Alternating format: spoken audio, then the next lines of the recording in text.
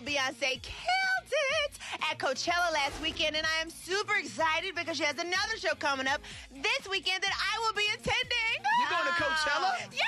Or Beychella, Well, as I'm they going renamed to, I'm it? going to Beychella, honey. Gonna be Porchella. yes, and she recently posted this picture on her Instagram, which is hinting she might have a new set list of new songs. Now, the songs that are on this picture are like Upgrade You, End of Time, Bills, Bills, Bills, Six Inch, and Cater to You might be on this brand new playlist for Coachella weekend number two. Well, with you know, Bills, Bills, Bills being on the playlist, like that was a Generation One Destiny's Child it song. was. So maybe Yeah. she might bring out the original lineup. Oh, I'm gonna pass out, y'all. Y'all got, oh God, I gotta be resuscitated. I already told my friends, I said, if I pass out, just drag me to the front and wake me up when Beyonce comes on stage.